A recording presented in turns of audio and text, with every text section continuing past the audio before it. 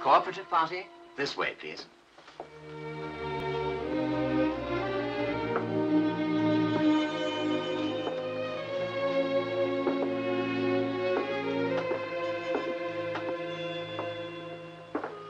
Do I say thank you to anybody? No hosts? Oh, well. Well, the liquor's genuine anyway. I know you, don't I? I don't think so. You remember the Paradise Club? The what club? Paradise. Not to my knowledge. Well, they've spelt the name right anyway. Found yours yet? Uh, yes. Well, we may as well swap cards, save intros. No, I think I'll. Uh... Oh, you're not leaving already, I hope. You'll miss a rather good lunch. Uh, just the hat and the umbrella, please. Well, good morning, gentlemen. You've all found out where you're sitting, I take it. Yes. So, uh, shall we? Good. Over there, Rupert. That's right. Oh, one absentee, I see. Well, we won't wait. I chose the menu with rather more than usual care. It'd be a pity to spoil it for one defaulter. What's it? Oh, good man, you found some. Excellent. Uh, did you have any trouble parking? I, um, I didn't come by car. Uh, very sensible. Hmm. This is good. Absolutely at peak. Oh, don't you agree? I don't drink. Oh, no, of course not. I forgot. Well, do start, gentlemen. Good God Almighty. This is the right place, the cooperative whatnot thing? Yes, do come in. We were just about to begin without you. Oh, I took the wrong turning, and not for the first time. Found myself in a room full of trade unionists cooking up the next wage claim. All Tories, of course. Didn't take to me at all. Ah, that's better. What is it? Hmm, fair enough. The 52 is all gone, I suppose. Enjoy your meal, gentlemen. You know the old saying, if a rich man eat when you will, if a poor man, when you can.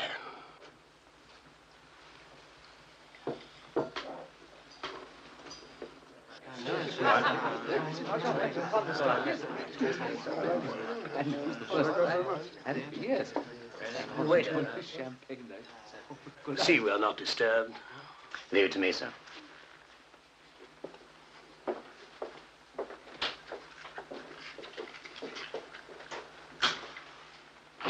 Well, now, gentlemen, I think the first thing for me to do is to establish my good faith. You'll find these contain the missing halves of the five-pound notes.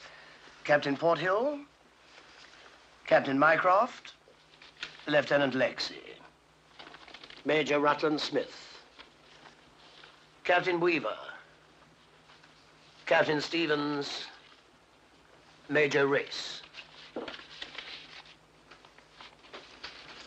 Uh, don't bother to thank me, gentlemen. Purely a business transaction. Be a bit difficult to thank you anyway, old darling. Since I don't know your name. Didn't I sign the letters? How very careful of me. Well, I've no objections now. I don't think my name's Hyde. J.G.N. Hyde. What's the J stand for? Jekyll? Oh, that's a thought, isn't it? Mr. Hyde? Corporal? Sergeant? Let's just leave it that I outrank you. The book, gentlemen. I'd like your opinions on it. Uh, you've all read it, I take it. I'm afraid I didn't, old darling. Any particular reason why not, Major? I never read books from strange men. Well, then, a very brief précis for the Major's benefit. An American thriller with the germ of a good, almost brilliant idea about a group of single-minded men who plan and execute a particularly daring bank robbery, right? Now, any criticisms as to the way the robbery was organized? You asking me? Well, I thought it was quite original. That's all. Yes, that's all. Weaver. Uh, I think I agree with him. I'd like to read it again, quietly. I see. Stevens. I, I enjoyed it. A bit far-fetched, perhaps. You couldn't see it happening in real life? Oh, I, I wouldn't go as far as that. Life's always surprising me. But didn't it excite any of you? Mycroft. I was held by it, yes. Nothing more. I mean, weren't you actually excited? I can't say I was. I prefer more subtle things, Vinny. But didn't it give any of you any ideas? It gave me a headache. I read it in bed. Yes, but what about the basic idea? The way the robbery was conceived like a textbook military campaign. Didn't that fire your imaginations? Apparently not, old darling. Well, you disappoint me, gentlemen. I expected more of you. I felt sure that at the very least, the idea of making easy money would appeal to all of you. What makes you so sure of that? Oh, come now. You're all crooks, aren't you? Of one kind or another.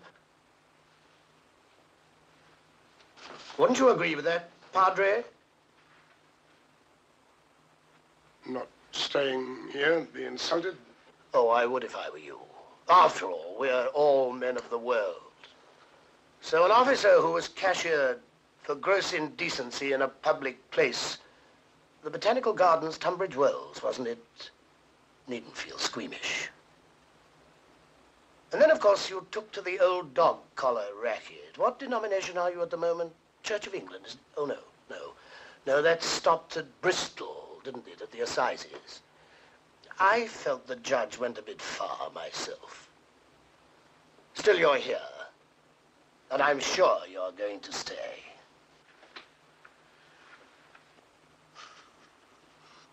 You seem amused, Mr. Lexy. Is it a joke we can all share?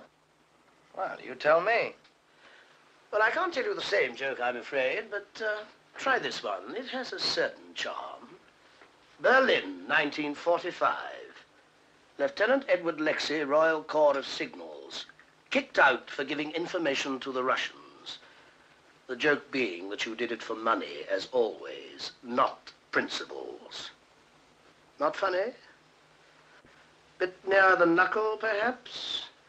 Depends whose finger's on the trigger, doesn't it, Captain Porthill? Yours was in Cyprus when you were cashiered for shooting EOKA suspects.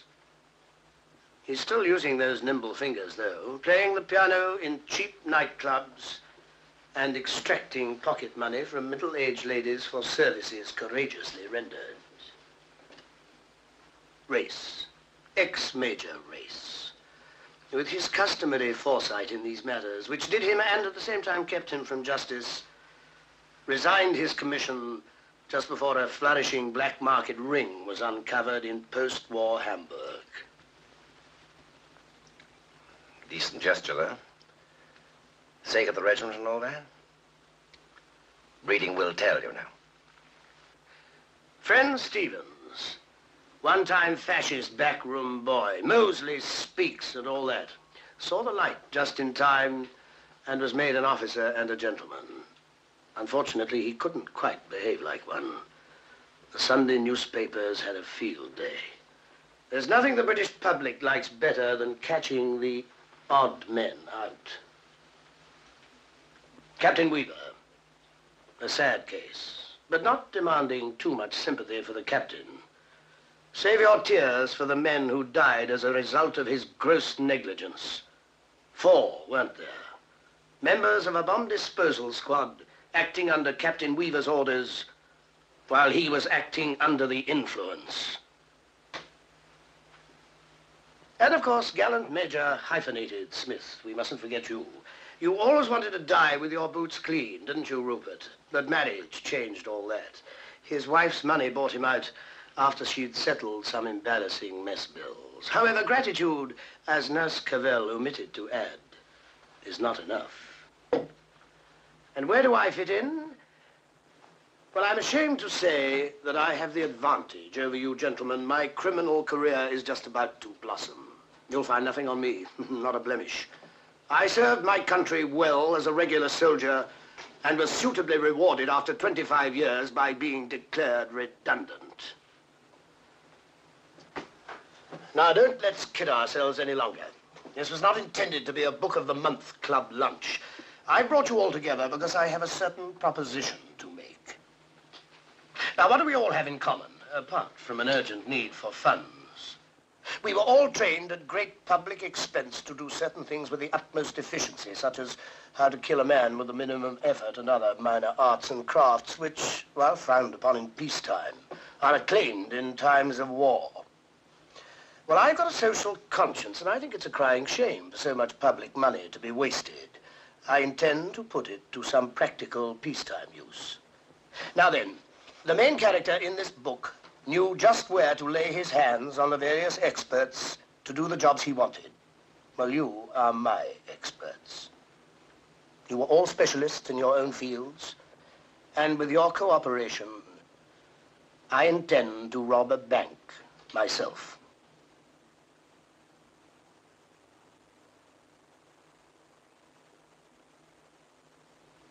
And the pay, gentlemen, 100,000 pounds each. That's $280,000.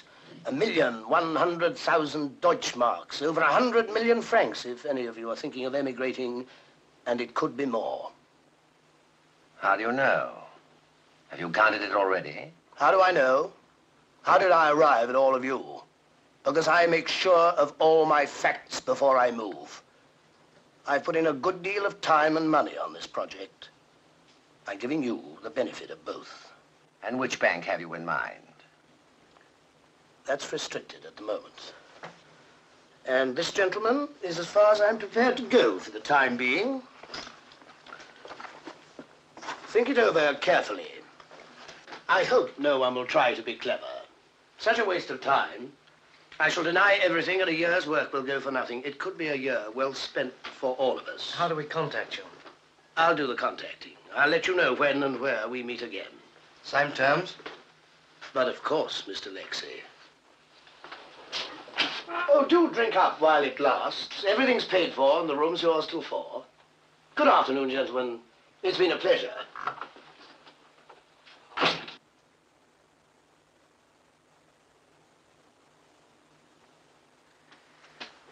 Well, speaking purely personally, old darlings, I thought that was a bloody good lunch.